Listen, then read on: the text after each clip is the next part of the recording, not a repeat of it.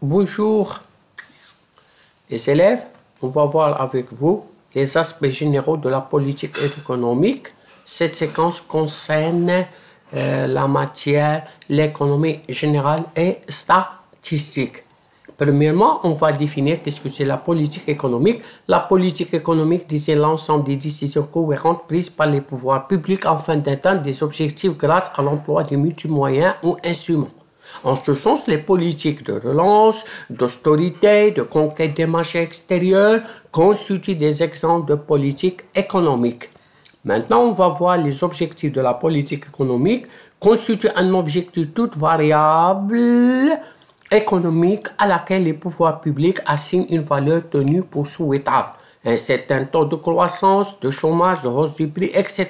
Les objectifs de la politique économique sont multiples et hiérarchisés selon l'économiste Caldor, quatre objectifs paraissent particulièrement importants. Importants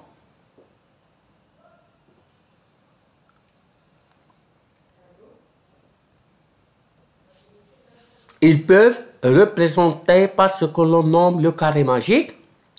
Ils se résument en quatre, le plan emploi, la croissance économique, l'équilibre de la balance des paiements et stabilité des prix. On va voir dans à la fin les instruments de la politique économique.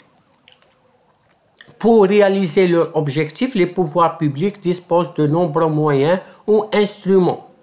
Les principaux instruments de la politique économique, la politique budgétaire, la politique monétaire, la politique industrielle, la politique des revenus la politique des changes. Dans la pratique, la politique budgétaire et la politique monétaire présentent une importance particulière qui font d'elles des moyens d'intervention traditionnels de l'État. Merci de votre attention et jusqu'à jusqu'à prochaine vidéo.